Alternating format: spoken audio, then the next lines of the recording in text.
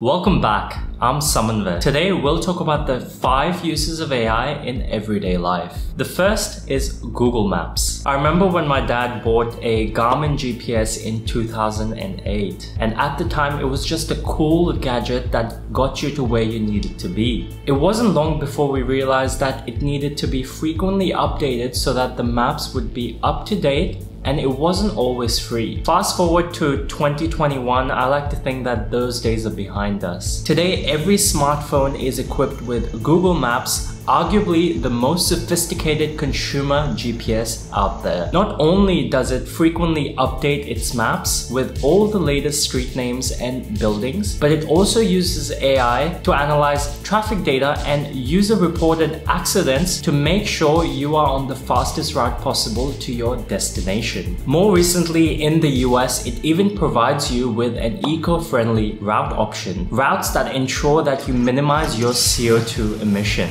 These these days, you can also use live view navigation when you're walking around in the CBD. This feature uses a combination of computer vision AI, street views, and conventional maps in order to give you the most helpful navigation advice on your city adventures. These spots are often where GPS tends to perform the worst as the signals bounce off buildings in the densely packed CBD area, significantly hampering GPS operation which relies on accurately calculating signal delays to triangulate your position. The second use of AI in everyday life is transaction fraud detection.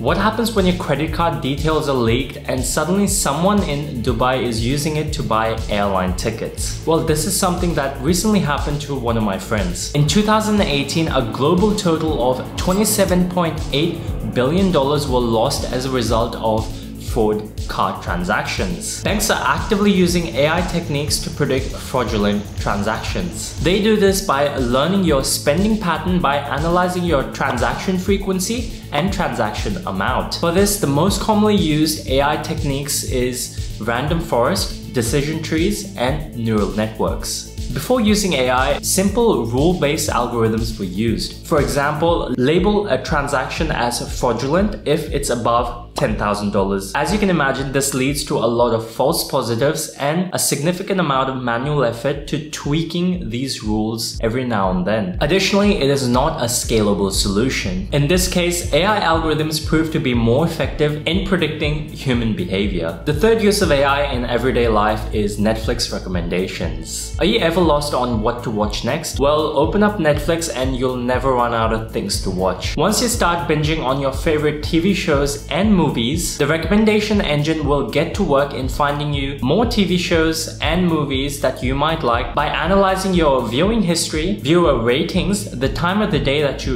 like to watch your shows, show category, and countless other features. Netflix's sophisticated recommendation system is set to generate up to $1 billion in retention value. Netflix also personalizes its artwork and thumbnails based on your user engagement. The third use of AI in everyday life is emails. We've all gotten one too many spam emails about weight loss pills. If you're a Gmail user, then you'll appreciate the four categories of emails. Primary, promotion, social, and updates. While the categories can be a hit or miss, I've found that my primary is almost always free of spam. But I can't say the same about the social or promotion folders. Google claims that its AI-powered filtering system stops 99% of spam. The exact filtering algorithm that they use is probably a secret source, but it's likely that they use the naive Bayes filtering algorithm, which is a classifier that predicts whether an email is a spam based on its text contents. You might also notice the smart reply feature, which analyzes your typical replies in order to craft a personalized reply to each email you receive. Now, the final use of AI